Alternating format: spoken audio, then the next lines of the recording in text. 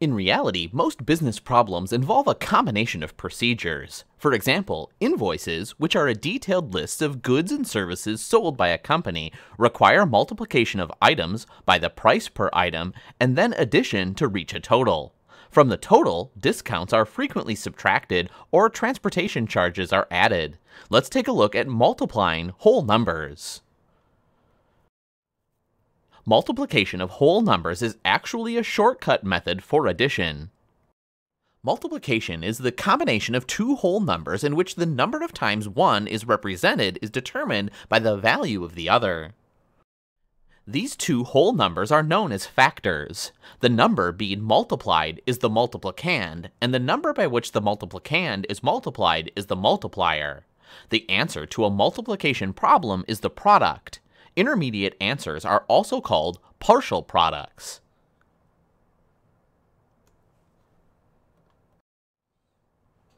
In mathematics, the times sign, represented by the symbols x or a dot or parenthetical statements, is used to indicate multiplication. For example, 12 times 18 can be expressed as the following. Here are the steps for multiplying whole numbers. Step 1. Write the factors in columns so that the places values line up. Step 2. Multiply each digit of the multiplier, starting with the units times the multiplicand. Yield a partial product whose units digits appear under the corresponding digit of the multiplier. Step 3. Add the digits in each column of the partial products, starting on the right with the units column. When multiplying any number times 0, the resulting product will always be 0. For example, 537 times 0 is 0. When multiplying a number times 1, the product is that number itself. For example, 1844 times 1 is 1844.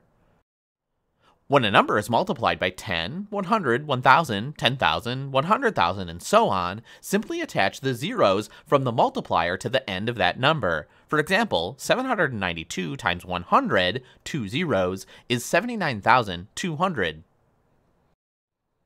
When the multiplicand and or the multiplier have zeros at the end, multiply the two numbers without the zeros and attach the number of zeros to the product. For example, 130, 1 zero, times 90, 1 zero, equals 11,700. To check your multiplication for accuracy, divide the product by the multiplier.